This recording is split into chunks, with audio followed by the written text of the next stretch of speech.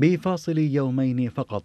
ضرب زلزال مدمر مدينة مراكش المغربية ومحيطها في إقليم الحوز. تبعه عاصفة قوية ضربت مدن الشرق الليبي وتركزت أكثر أضرارها في مدينة درنا.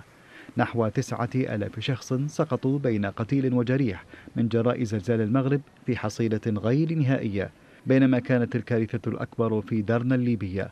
حيث جرف الفيضان أحياء بسكانها ومبانيها وألقى بها إلى البحر المتوسط لتقدر أعداد الضحايا بما يقرب من 22 ألفا بين قتيل ومفقود فضلا عن عشرات الآلاف ممن نزحوا من بيوتهم بعد تضررها بسبب الفيضان.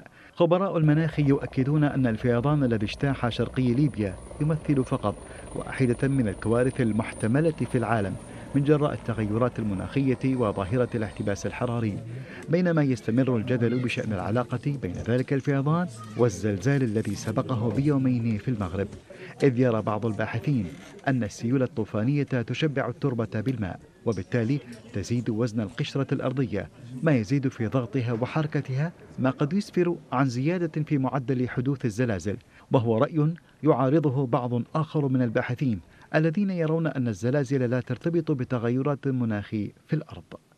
وبعيدا عن الجدل العلمي فقد كشفت كارثتا المغرب وليبيا عن أن أكثر الدول العربية ليست مؤهلة لمواجهة مثل تلك الكوارث وأنه بينما يبحث العالم سبل مواجهة تحديات التغير المناخي والجفاف ونقص الموارد ما زالت أكثر الدول العربية على اختلاف نظم الحكم فيها تغرق في أزمات شق الطرق وتوفير مياه الشرب وضمان الرعاية الصحية والتعليم والسكن والكهرباء.